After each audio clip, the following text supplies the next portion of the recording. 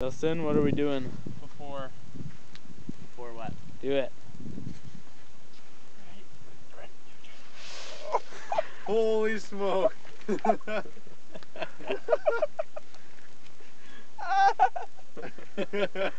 one one got tangled in his armpit hair there. I think a couple of them are dead. Don't say that, Jordan. oh man!